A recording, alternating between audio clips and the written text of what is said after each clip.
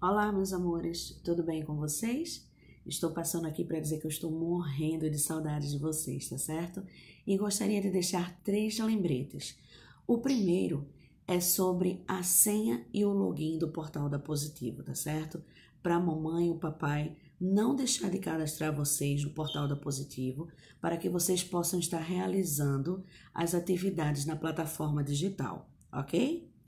O segundo lembrete é que eu gostaria de pedir às mamães que sempre que pudessem estivessem tirando fotos das crianças realizando as atividades.